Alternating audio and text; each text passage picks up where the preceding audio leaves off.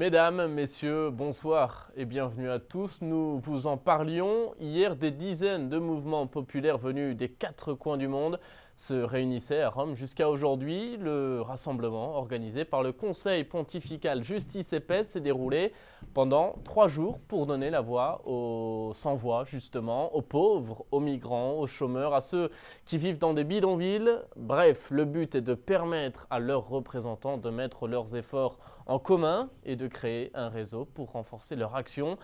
Hier, donc, ils étaient au Vatican où ils ont rencontré le pape. Le Saint-Père a livré un long discours, un discours percutant dans lequel il rappelle que aimer les pauvres, c'est l'évangile tout simplement et non pas le communisme. On écoute un résumé de son discours. L'amour pour les pauvres est au cœur de l'Évangile. Le pape François l'a répété avec force dans un long discours prononcé dans la vieille salle du synode où se sont rencontrés les représentants des mouvements populaires du monde entier. Des agriculteurs, des mineurs, des vendeurs ambulants et des chiffonniers auxquels le pape a rappelé que la solidarité que leur mouvement propose se trouve à combattre les effets destructeurs de l'empire de l'argent. Et il a souligné qu'on ne vint pas le scandale de la pauvreté en promouvant des stratégies d'endiguement qui seules convertissent les pauvres en êtres domestiques et inoffensifs, ce qui réduit les pauvres à la passivité a-t-il dit. Jésus appellerait cela de l'hypocrisie.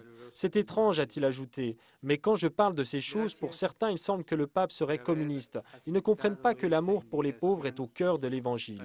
Le souverain pontife a ensuite rappelé qu'une encyclique sur l'écologie était en préparation, dans laquelle les préoccupations des mouvements populaires seront présentées, et il les a exhortés à changer le système économique en construisant les structures sociales alternatives. Il faut dépasser l'assistanat paternaliste pour avoir la paix et la justice, a-t-il poursuivi, créant des nouvelles formes de participation qui incluent les mouvements populaires. Aucune famille sans maison, cela a été son vibrant appel final. Personne ne vit sans terre, personne ne travaille sans droit, aucune personne ne vit sans la dignité que donne le travail.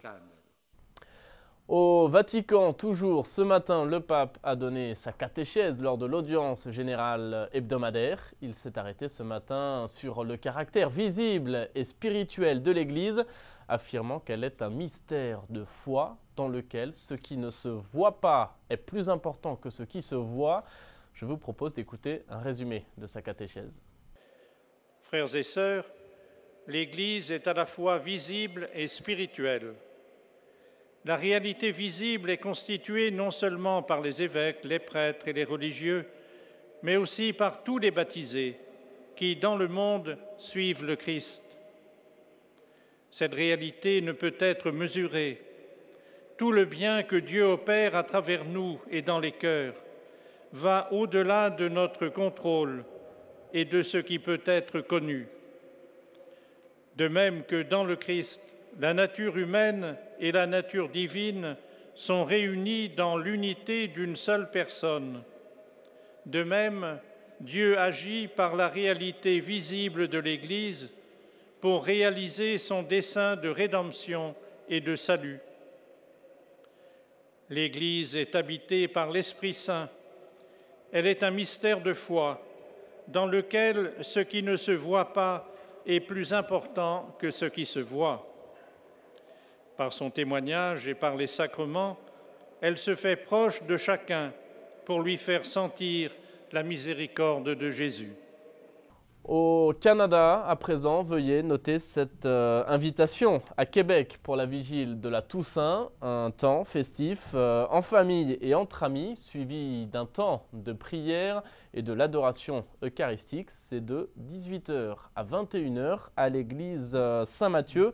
Vendredi, donc, vous trouverez davantage d'informations sur le site du diocèse de Québec. Voilà, c'est la fin de cette émission. Merci d'avoir été avec nous. Je vous souhaite à tous une très très belle fin de soirée. À demain.